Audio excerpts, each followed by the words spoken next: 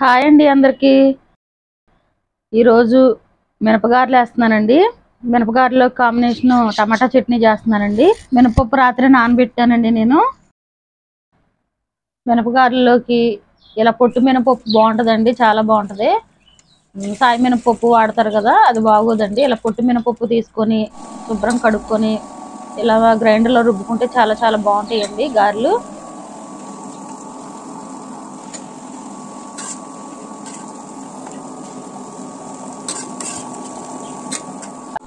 పిండిని ఈ విధంగా రుబ్బుకుంటే సరిపోద్దండి. చక్కగా దూదిలా ఉంది చూసారు కదా.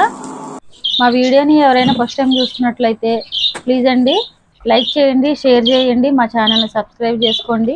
మీ అభిప్రాయాలను కామెంట్ రూపంలో తెలియజేయండి. మమ్మల్ని సపోర్ట్ చేస్తారని ఆశిస్తున్నాము. చట్నీలోకి ఒక నాలుగు పచ్చిమిరకాయలు తీసుకొని వేపుకుంటున్నానండి.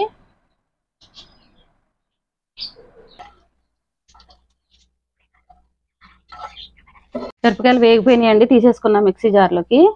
ఇవి కొద్దిగా చల్లారనిద్దామండి. టమాటాలు వేసుకుంటున్నాను.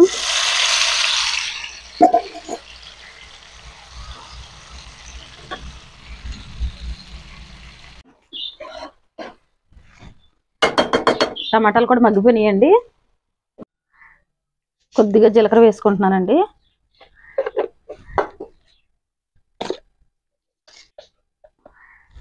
కొద్దిగా సాల్ట్. ఇవి చల్లారిన తర్వాత మిక్సీ పట్టేసుకుంటానండి. గార్ల పిండి కలుపుతున్నానండి. రుచికి సరిపడా సాల్ట్ వేసుకుంటున్నాను.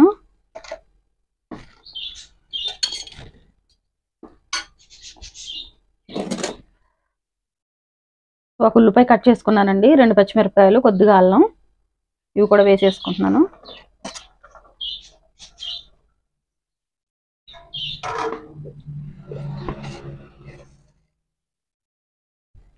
కొద్దిగా జీలకర్ర.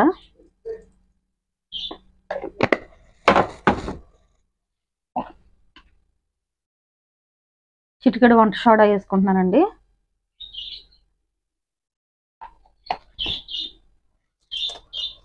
ఇవన్నీ వేసుకొని బాగా మిక్స్ చేసుకోవాలండి ఇలా కలుపుకోవాలి. పిండి మనం కలుపుకునే విధానాన్ని బట్టి మనకి గారెలు వేసుకుంటూ గురుద్దండి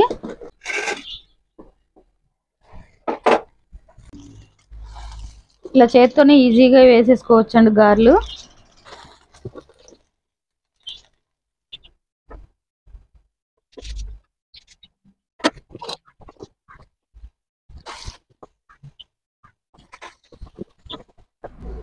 చట్నీ మిక్సీ పట్టుకుంటున్నానండి. చట్నీ అయితే రెడీ అయిపోయిందండి.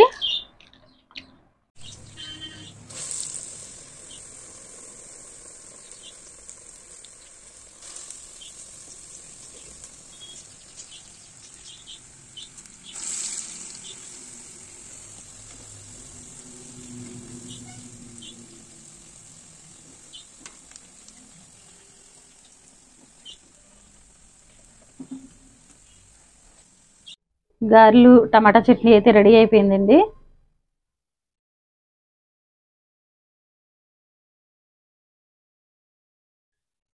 పైన క్రంచీగా లోన సాఫ్ట్గా వచ్చినాయండి.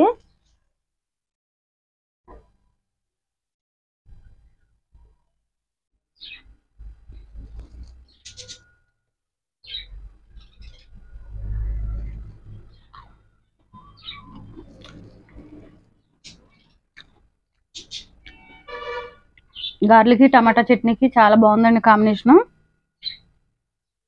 చాలా చాలా బాగున్నాయండి. పైన క్రంచీగా లోన సాఫ్ట్గా చాలా బాగున్నాయండి.